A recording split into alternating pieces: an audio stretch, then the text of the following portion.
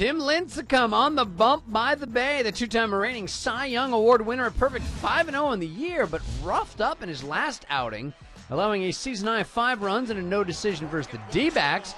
In this one, taking on the Nats and stumbling again early. Adam Kennedy with an RBI single in the third. Nyjer Morgan trips at the dish, but it still counts. One zip, same frame. Here comes the hammer. That ball is rammed out to right center. It is over the head of Aaron Rowand. Oh, yeah. Kennedy scores. Dunn stops at third, and the Nationals lead 2 0. Josh Willingham has the Nats in front 2 zip, and they're not done. Still top three. Ian Desmond goes the other way. Shoots this one to right. It'll score Adam Dunn.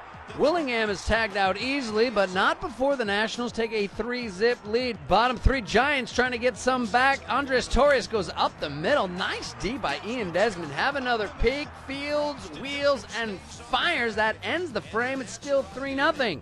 Top five, it's now 4 zip. We saw Desmond on D. Here he is with the stick. Desmond on a half swing.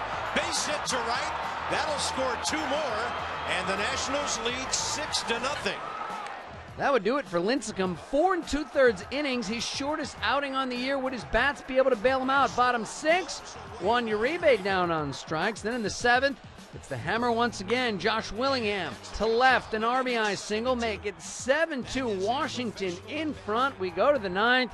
They're going to end this thing in style. Bengie Molina goes to third. Look at Ryan Zimmerman. Starts the 5 4 3 DP. The Nats get one more out and win this thing 7 to 3, lighting up Lincecum in the process. He allows six runs and six hits. It's his first ever May loss. He was 8 0 in 19 career starts in the month. He's allowed a combined 11 runs in his last two outings, thanks in large part to Josh Willingham and Ian Desmond. In this one, they go for a combined four hits and five ribbies.